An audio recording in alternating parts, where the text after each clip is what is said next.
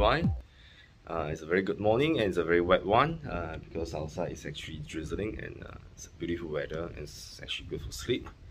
Um, but I have to wake up because I have a lesson at 8.30 and uh, I'm just thinking uh, since I mentioned that we're going to start doing a series of video whereby I will show you um, the um, how I use certain machines uh, for maybe a week or two and uh, why not start something I have at home right? So uh, I'm going to show you the setup I have.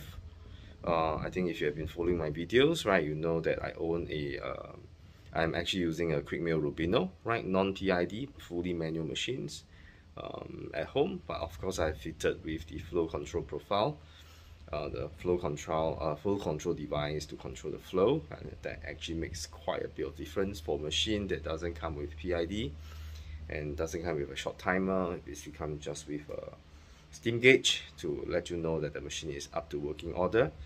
And uh, okay without further ado let me show you the machines and the grinder that I pair with it and then show you how I actually uh, pull a shot and make a latte out of it right? So this not this video is gonna be a lot it's be a shorter one right? Unlike my other video which is like 30 and 40 minutes so, so before we uh, start let me just show you the equipment I'm using today.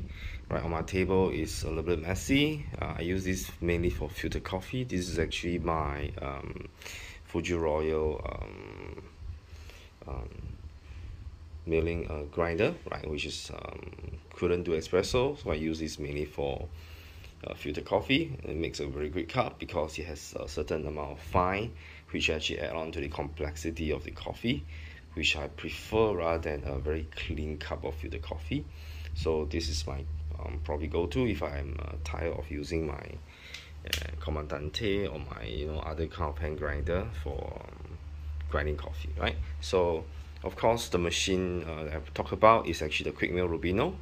Um, this is my favorite machine because um, it's built to last. The build quality of the machine and the metal the stainless steel the polishing that uses is just not comparable by other machines right? So and of course if you have been following my video you know that Quick Mill is uh, formerly a stainless steel factory and my friend Stefano and the father actually purchased Quick Mill and then they start making espresso machine and only make the steel for themselves right? So this is that's the reason why I love this machine so much. This machine has been with me more for about two years you can see that the stainless steel mirror effect is still fantastic right? And of course this is also from Quick Mill. This is the flow control. The you have to change the entire mushroom so the design is very similar to the ECM style or the rocket style not the lily with a flow restrictor right? And uh, let me just show you the machine.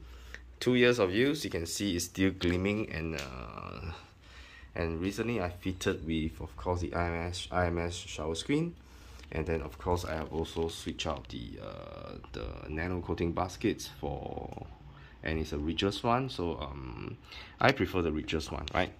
And uh, yeah let me just show you the machines. I have uh, elevated the machine because I wanted to do some uh, uh, some modifications so I can actually put a scale on top. Okay maybe I just show you how this one is supposed to work.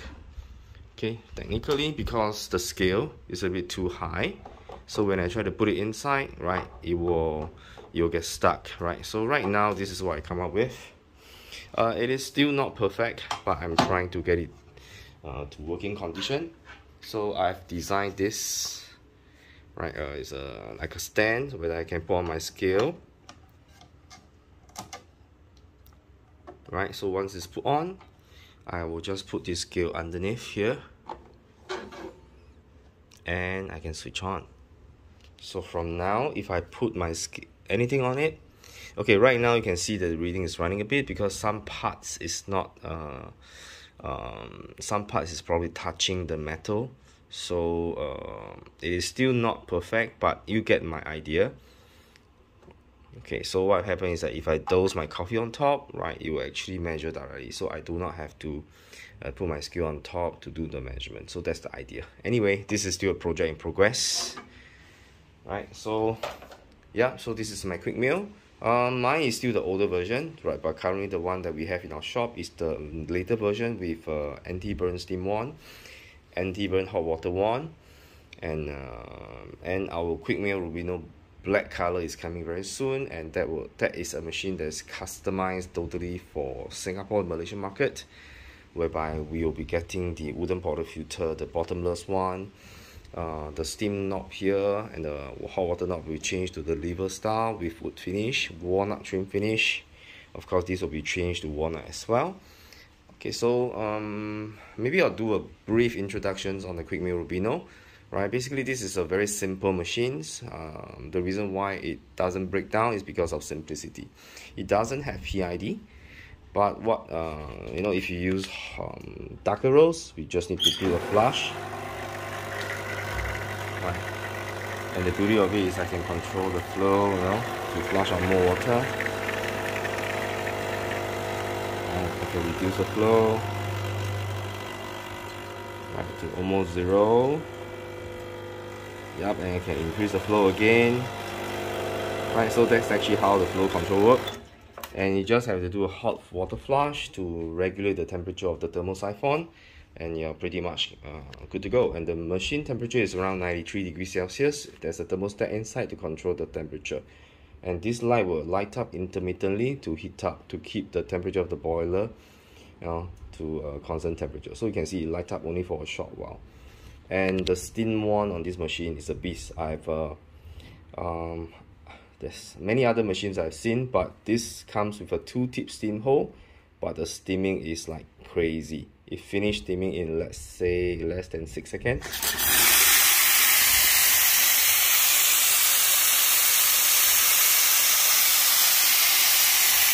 So it's a very powerful machine even though it's non-PID but if you know how to use it um, it makes a very decent and very good cup of coffee right?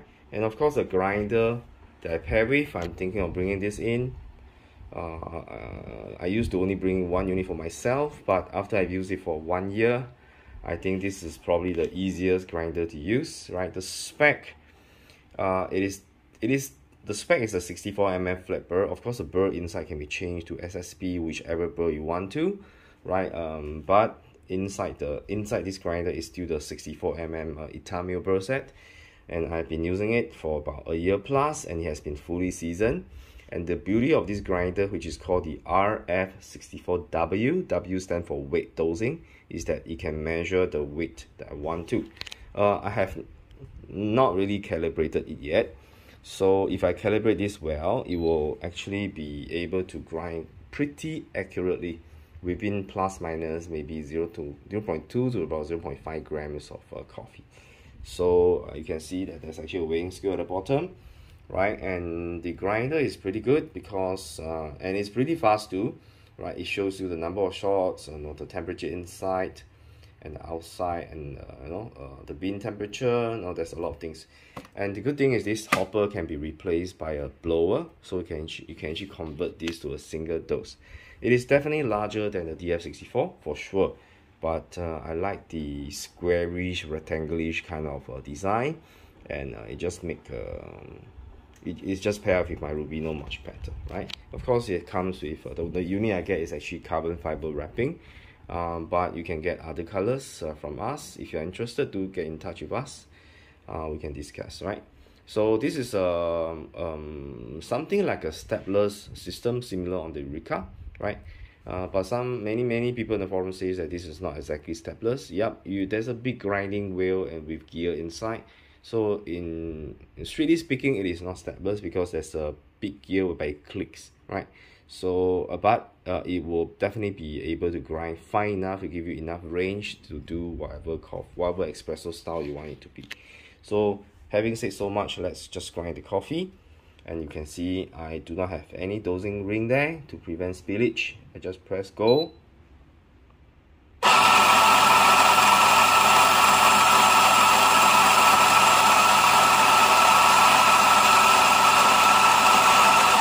right it's done no spillage at all right you can see that and right now it's about 18 point 18.5 18.6 18.4 sorry so um I have to calibrate this thing, right? but if I calibrate this well, it is usually quite, um, it give me quite an accurate results, right? So let's, right, so I'll show you my normal um, preparation at my um, uncle's house. So this is a tiny setup that I have. Before that maybe let me switch the camera angle so that you can see how I do the preparation in three stages. So let me bring my tripod around here. Yep so you can see that this is the setup um, with a tamping station right? A very very solid tamping station. Uh, this is of course the, the leveler or the distributor.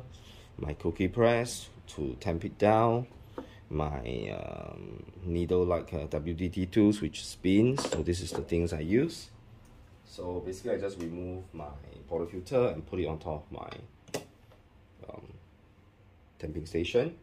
WDT I can do everything in one hand right?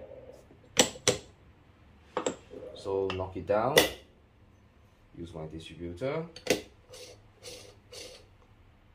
Right use my cookie press I like puck screen so I'll be using puck screen too. Fine side below coarse on top. And lock up the portafilter and we are good to go. So right now because my uh, my new design is still in progress and still in prototyping so I'll just be using the old style. Right don't forget uh, I already flushed the system but let's do a, another flush I mean in terms of inconvenience between the PID and non-PID machine is that you just have to flush it. For about 5 seconds right and let's do a shot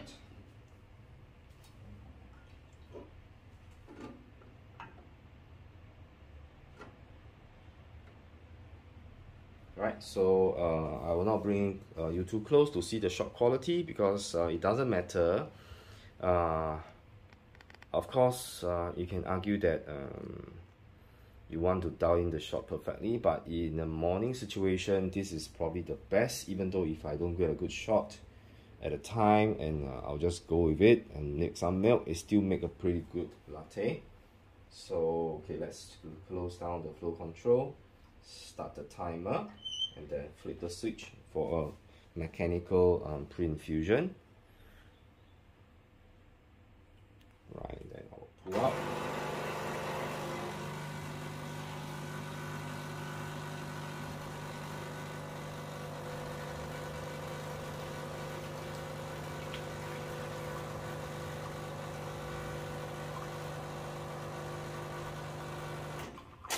So about 40 40 grams of coffee right in about uh, 30 seconds. So let's heat up the push the steam on.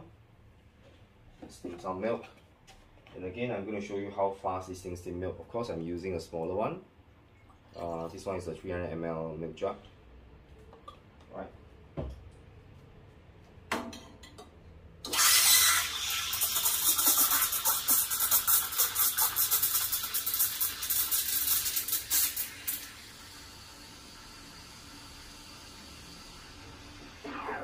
done right? So it's really fast.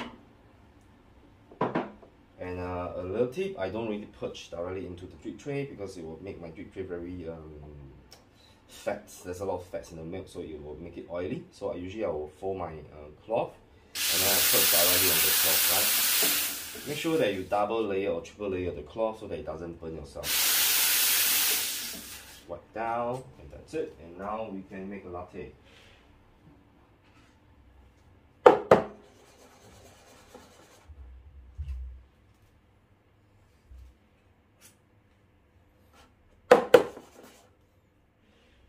Right, the camera angle is not ideal, but I'll try my best.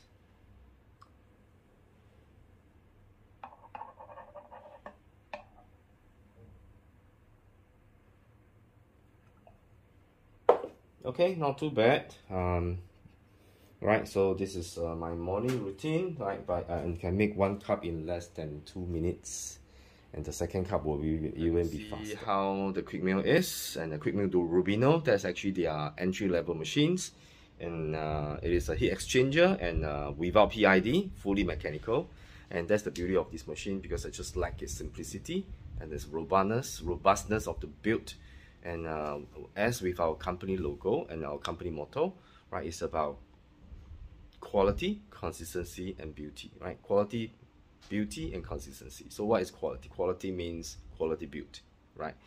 Design, beautiful design, and then um, making consistent shots, right? Okay, the consistency depends on user, right? Depends on how how how well you know about making espresso. And um, yep, okay. So this is CY once again. Thank you for joining me this morning. And uh, if you haven't subscribed to my channel, remember to hit the subscribe button and like my videos and share to your friends who are fellow coffee lovers, right? So if they are not yet decided what machine to go for, I will strongly recommend the Quick, Quick Mill Rubino. Even though it is a non-PID machine, but you can still make very good shot. Just that when you choose your type of roast, uh, this machine is probably better for medium to lighter roast because um, you know, uh, without PID, the temperature will tend to fluctuate slightly higher, right? Because of the thermosiphon using the steam temperature to heat up the group head and things like that. So, uh, but nonetheless, I have been using medium roast on this machine and the coffee tastes great, right? And with flow control, I will not say perfect, but it's close to perfect, right? So thank you for joining me today. I will see you very soon. Stay safe and uh, have a great day. Cheers, right?